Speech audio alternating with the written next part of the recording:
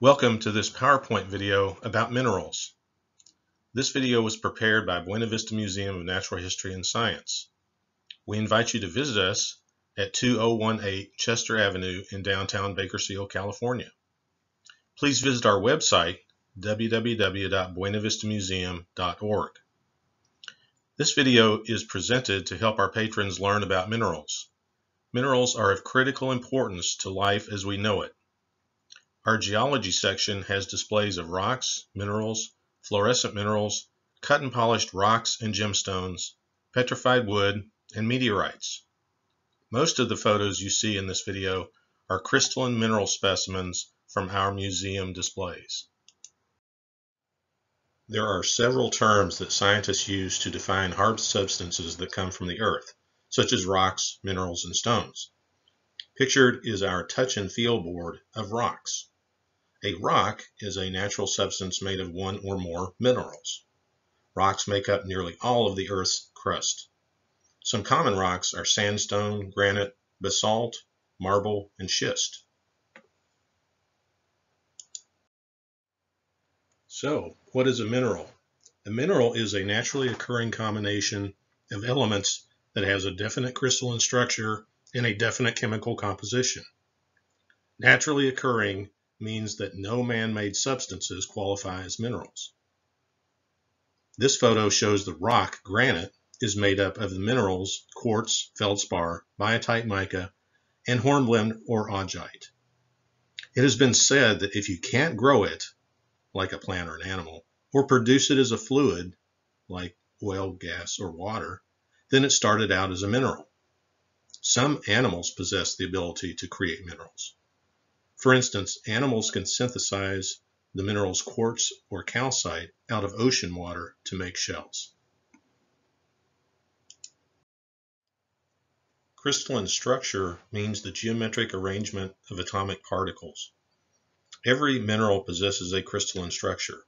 Even the needle-like clusters of the mineral crocoite are intergrown crystals. Crocoite is composed of the elements lead, chromium, and oxygen. The upper photo shows two cubes of purple fluorite. The definite chemical composition of a fluorite molecule is one calcium atom and two fluorine atoms that arrange into a cubic shape. The red and orange balls pictured show that shape. However, rarely do we get to see that crystalline structure. Crystals like to grow into open spaces to display their unrestrained shape and most of the minerals in our displays show that beautiful crystalline structure. But most of the time, crystal shapes are difficult to recognize because they grow into other crystals, are too tiny to see, or are broken or worn away in the Earth's crust. So, don't worry about determining crystal structure. You are unlikely to see it anyway.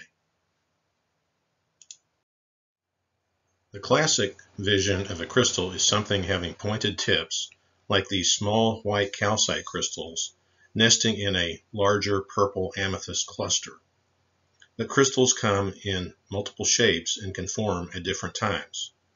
This specimen shows the amethyst crystals formed first and then were later covered by the calcite crystals. Examining physical properties can help identify minerals. These physical characteristics include properties such as cleavage, hardness, weight, also known as specific gravity, luster, color, and streak. You can often identify a mineral simply by holding it in your hand. Calcite, the pale gray crystals pictured, are fairly lightweight and soft. However, tiny, vivid blue, purple, and gold crystals of chalcopyrite can also be seen in this specimen. The chalcopyrite crystals are harder and heavier than the calcite crystals. More extensive laboratory analysis can help with tiny samples or other difficult to identify specimens. These laboratory analyses include testing chemical properties, melting temperature, and optical properties. 94 naturally occurring elements combine to give us an estimated 6,500 different minerals. This photo shows cubes of pyrite that grew together. Pyrite is a mix of iron and sulfur. As you can see, pyrite is a lustrous, brassy, gold-colored metallic mineral. Pyrite can be found in rocks that also possess gold. However, pyrite's similarities with real gold stop there. Pyrite is still known as fool's gold. There are a handful of natural solid substances that don't have a definite crystalline structure, such as opal and obsidian. These are called mineraloids rather than minerals. Pictured is the beautiful volcanic glass known as obsidian, crafted into a heart. In early civilizations, minerals were important to humans. Minerals served as items of economic trade, such as gold, silver, turquoise, salt, and borax thousands of years ago. Pictured is the Marie Louise diadem, a crown from 19th century Europe made of diamonds, silver, and turquoise. Originally, emeralds occupied the spots now filled with turquoise. Minerals have also been historically mined for utilitarian reasons, such as stone walls and spear points. Because they can be colorful and unusual, a few minerals have been thought to possess mystical or magical powers. Today, minerals are used in jewelry, construction, medicines, healthcare, coinage, batteries, high technology, dinnerware, fertilizers, and thousands of other ways. Pictured is one of our display cases. Minerals form in different geologic environments. Some countries, such as the United States, are rich in many minerals. However, even the U.S. has to import certain critical minerals. Most minerals form underground at temperatures and pressures higher than what we see at the Earth's surface. Thus, activities near the Earth's surface often greatly alter minerals. Physical erosion by gravity, friction, sunlight, water, and ice break up rocks and minerals. Water and acid attack rocks and minerals chemically. These physical and chemical processes can form new minerals as well. One of the fun optical properties that can help identify a few minerals is fluorescence. Shining ultraviolet light waves often makes minerals fluoresce unusual colors such as the bright green, pink, blue, or orange you see in this slide. Taking an ultraviolet light out in the desert at night to find minerals can be great fun. Watch for a new museum video dedicated to our fluorescent minerals. This photo shows a huge cluster of pale green fluorite crystals from England. Most of the specimen is illuminated only by regular or incandescent light. However, the lower left side is illuminated by ultraviolet light. Notice the brilliant blue color of the fluorite is only seen where illuminated by ultraviolet light. The property of fluorescence was first observed in the 1850s from fluorite in the north of England. Many of our specimens are brightly colored, and color can help identify some minerals. But in general, color must be used along with other physical characteristics to help identify a mineral. For instance, look at the quartz crystal from Arkansas on the right. It is colorless. On the left, is a specimen of amethyst from Brazil. Both of these are samples of the same mineral, quartz. Amethyst is the purple variety of quartz that has tiny impurities of iron and manganese. Greeks gave amethyst that name thousands of years ago because they thought amethyst could protect its owner from drunkenness. In reality, quartz can be purple, colorless, or any color of the rainbow. The impurities plus natural radiation give amethyst its distinctive color. We are fortunate to display a 375 pound amethyst geode from Brazil. Geodes are a type of semi-rounded rock formation. This large Brazilian geode, also known as a cathedral, has been cut open to reveal stunning purple amethyst crystals. Also, a single white calcite crystal sits at the bottom of the cathedral. The open space is the partially filled remnant of a large fluid bubble in basalt, a type of volcanic rock. Silica-rich fluids deposited mostly quartz inside the bubble remnant.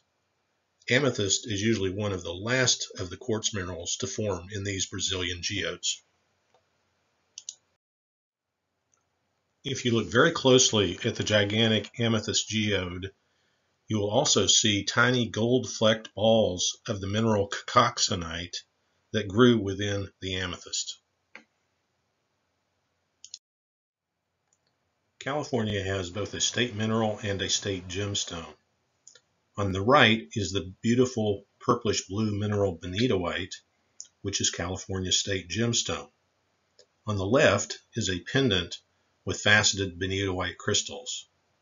Benitoite white is exceptionally rare, having been found only two places in the world. One is San Benito County, California. These and other spectacular California minerals are on display courtesy of the California Federation of Mineralogical Societies. The museum also possesses California's state mineral, gold, but we don't keep our gold nuggets on permanent display. They were found in Kern County's Mojave Desert region. Collectively, these placer nuggets weigh about 85 one hundredths of an ounce. Learn more about Kern County's historic mining areas in other Buena Vista Museum videos. Rubies are a variety of the mineral corundum. Did you ever wonder what a ruby looked like before it was cut into a beautiful stone and placed into a ring? We have a 15 karat ruby crystal from the United States' premier ruby location in western North Carolina and a ruby in green zoisite from a commercial location in South Africa. Rarely, mineral specimens form that are made of only one element. Above right is a photo of native copper from Calumet, Michigan. Native copper has a distinct orange-pink metallic color. Virtually all copper mined now is in minerals that possess a mix of copper, sulfur, oxygen, hydrogen, and other elements. Good examples of such oxidized copper are the azurite specimen from Arizona and the atacamite chrysocolla specimen from Chile. Iron rusts red and orange, but copper exposed to water and air, oxygen and hydrogen, rusts blue and green. This is why the Statue of Liberty and old copper pennies turn bluish green.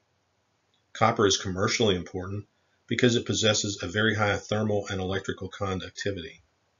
Copper was mined as early as 5000 BC in Serbia, Iraq, and Egypt. Today, Chile, the United States, Indonesia, and Peru are the world's leading producers of this important element. One display case houses minerals donated by museum friends Dell and Peggy Fortner in memory of Helen Louise Jones. Buena Vista Museum is very fortunate to have these specimens. Pictured is a large one-of-a-kind specimen of selenite. Selenite is the transparent crystalline variety of the mineral gypsum. This specimen crystallized in a brackish water pond near San Francisco Bay. The selenite attached to reeds growing in the pond.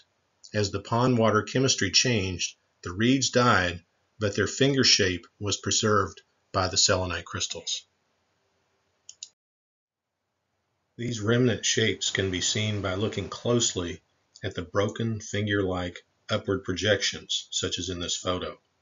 Each crystal is quite small and is needle-like. A fun way to learn about minerals is to go out and collect them. Here you see halite crystal collectors working at Searles Lake in the California desert. Halite is the mineral name for salt. Imagine turning over a lake bed rock and finding beautiful pink halite crystals like you see in the inset photo. Most mineral collectors try to clean and preserve their minerals as is, but some folks love to get into lapidary work. Lapidary is the cutting and polishing of rocks and minerals, crafting them into beautiful products such as jewelry, spheres, bookends, clocks, and other creative items. Thank you for viewing this video on minerals, and thanks to those folks who assisted in making this presentation. We invite you to visit Buena Vista Museum of Natural History and Science in Bakersfield, California, or visit our website to view more interesting videos at www.buenavistamuseum.org.